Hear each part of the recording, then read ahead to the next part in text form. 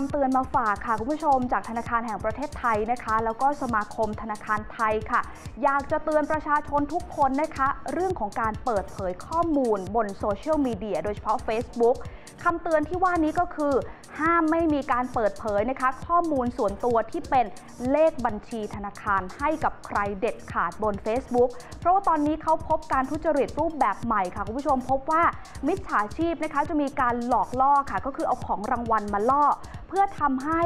คนที่สนใจเนี่ยเปิดเผยข้อมูลก็คือใส่หมายเลขบัญชีธนาคาร หรือว่าข้อมูลส่วนตัวอื่นๆ ลงไปบนโซเชียลมีเดียนะคะ แล้วก็นำไปสู่การทุจริตด้วย ซึ่งทางธนาคารแห่งประเทศไทยค่ะ อยากจะฝากคำเตือนประชาชนนะคะ ให้ระวังเรื่องของการให้ข้อมูลส่วนตัวที่เกี่ยวข้องกับทรัพย์สิน และใช้ประกอบการทำธุรกรรมทางการเงิน ไม่ว่าจะเป็นชื่อบัญชี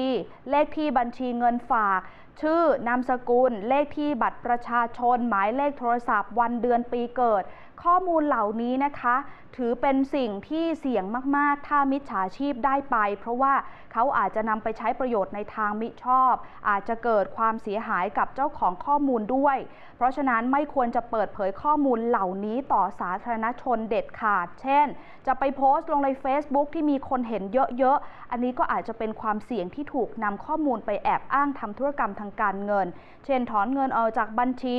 ถูกแอบอ้างว่าเป็นบุคคลดังกล่าวก็คือเหมือนสวมรอยเป็นเราเนี่ยนะคะ แล้วก็ไปทำธุรกรรม เรื่องการหลอกลวงให้บอกข้อมูลส่วนตัวตอนนี้ทำได้หลายรูปแบบมาก ที่ทางแบงก์ชาติเขาเห็นบ่อยๆนะคะคุณผู้ชมก็คือการใช้ของรางวัล หรือว่าผลประโยชน์มาเป็นตัวล่อ หากเรารู้สึกไม่แน่ใจค่ะ หรือว่ารู้สึกว่ามันแปลกๆเนี่ยก็ให้ไปตรวจสอบข้อมูลให้ชัดเจนก่อนนะคะ ก็คือไปเช็คดูว่าคนที่มาคุยกับเราเนี่ยมีข้อมูลที่ระบุตัวตนได้ชัดเจนหรือเปล่า น่าเชื่อถือหรือไม่ แล้วก็ควรจะสอบถามไปยังหน่วยงานราชการที่ดูแลเรื่องดังกล่าวด้วย ส่วนผู้ที่นำข้อมูลของผู้อื่นไปใช้จนเกิดความเสียหายนะคะ จะได้รับโทษทางกฎหมาย นอกจากนี้พรบคุ้มครองข้อมูลส่วนบุคคลพุทธศักราช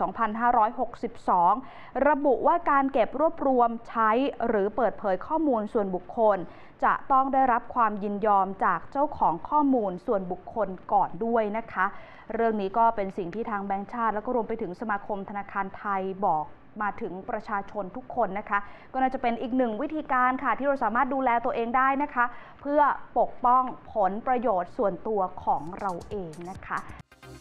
ขอบคุณที่ติดตามทีเอ็นช่อง 16 ค่ะ และอย่าลืมกด subscribe กดกระดิ่งด้วยนะคะ เพราะว่าเรายังมีวิดีโอที่น่าสนใจอีกเพียบเลยละค่ะ และหากผู้ชมไม่อยากพลาดการติดตามรายการสดนะคะ ก็สามารถเข้าไปดูกันได้ค่ะที่ Facebook Teen N Live หรือจะติดตามผ่านช่องทางอื่น ๆ ได้อีกเพียบเลย สะดวกมาก ๆ นะคะ เพียงแค่กดลิงก์ที่ใต้วิดีโอด้านล่างนี้เลยค่ะ